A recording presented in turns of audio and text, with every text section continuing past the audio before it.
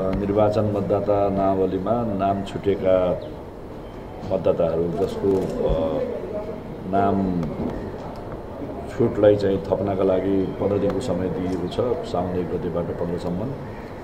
अब अहिले यो बर्सात पनि र खेतीपातीको पनि सिजन भएको कारणले र छुटेका नामहरू थप्नको लागि पन्ध्र दिनको समय पर्याप्त हुँदैन। त्यस कारणले यो श्रावण महिनाभरि नै समय दिइयोस् भन्ने चाहिँ उहाँहरूले चाहनुहुन्छ र त्यस्तै अब पचहत्तर जिल्ला सदरमुकाममा नामावली छुट नामावली सङ्कलन गर्ने क्रममा अब हरेक नगरपालिका र गाउँपालिकाका इकाइ कार्यालयहरूमा जाँदाखेरि नै त्यो बढ्ता सहज हुन्छ। खास गरेर कतिपय दुर्गम जिल्लाहरूमा जिल्ला सदरमुकाम पुग्नलाई नै मान्छेलाई दुई दिन पनि लाग्छ।